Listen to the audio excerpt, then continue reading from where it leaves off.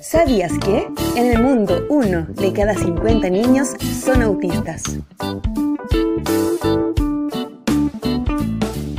Erradicar la exclusión en la vida de nuestros niños con autismo es una tarea que requiere empatía e información. La lucha persiste para proteger sus derechos y combatir la soledad.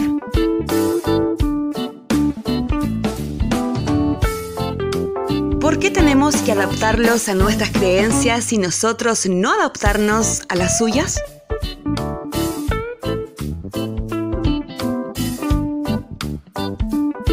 Es tiempo de crear mejores políticas públicas para todos nuestros niños.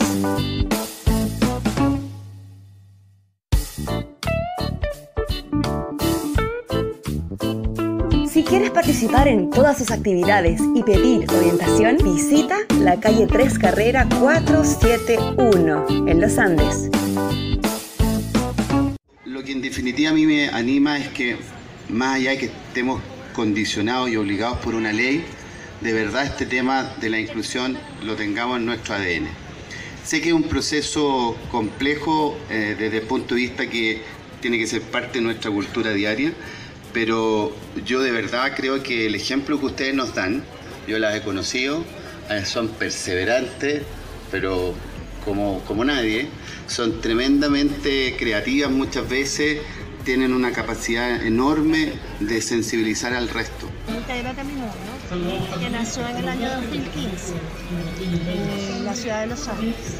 Eh, un grupo de papás que decidió organizarse para trabajar en pro del beneficio de sus hijos, pues, eh, dentro de la condición del espectro del autismo y hasta que está también dentro del espectro. Es un trabajo eh, de a poco. Eh, hoy por hoy no es lo mismo que hace unos 5, 6, 10 años atrás. Eh, y por eso es tan importante el día de hoy, que además está catalogado como el Día Mundial de la Concienciación del Autismo por la Asamblea, en Asamblea General de la ONU en el año 2008. Eh, ¿Por qué es tan importante? Bueno, porque es la única instancia que nosotros tenemos para hacernos visibles, digamos, ante el mundo. Porque la visibilidad es la lucha de todos los días. Aquí, digamos, en, en el país, en términos generales, este, recién se está avanzando sobre el tema. ¿Por qué? Eh, a pesar de que el Día de la Concienciación a nivel mundial fue catalogado en el año 2008, recién en Chile, en el año 2016, el Congreso Nacional lo aprobó como Día Nacional de la Concienciación del Autismo y del Asperger. Por lo tanto, eh, es lógico, nosotros estamos empezando, digamos, un poquito más atrasados dentro del país, ¿no? Ahora, eh, en tema de inclusión, yo pienso que se ha avanzado mucho. El azul. No, soy, soy verde azul yo. Ah, pero me alegro que sea el azul porque el azul de la esperanza tiene que ver con eso. Hoy día eh, me comentaban estas chiquillas de la Fundación Integrate Mi Mundo que muchos edificios públicos a nivel internacional se van a iluminar de azul. Nosotros en forma tímida lo vamos a hacer con la gobernación y con el municipio. Así que cuando pasen por eh, cuando pasen a la noche, ojalá que resulte. ¿ah? Felicitar a esta agrupación que ha tenido la capacidad de movilizar a muchas personas en la lógica de lo que ellos hoy día nos anunciaron, no sentirse solas o solos. Yo creo que el tema de la inclusión en definitiva no tiene que ver solo con leyes que se establecen para cumplirla, como por ejemplo el tema de la inclusión laboral.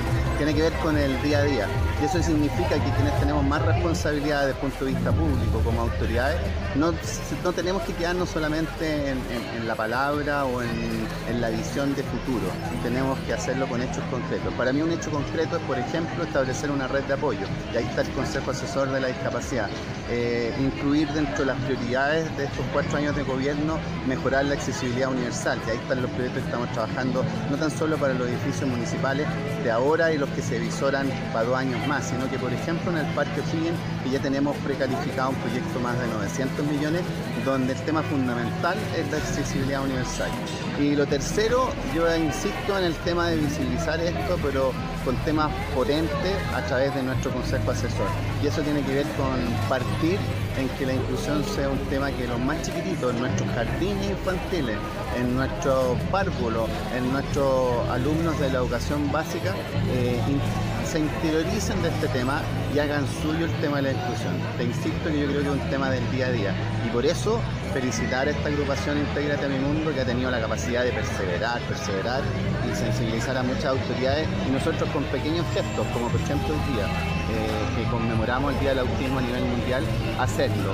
Eh, si el símbolo es eh, iluminar con el color azul los edificios, por lo menos partamos por la municipalidad y la gobernación, que se sientan no solos, que es lo que ellos aspiran.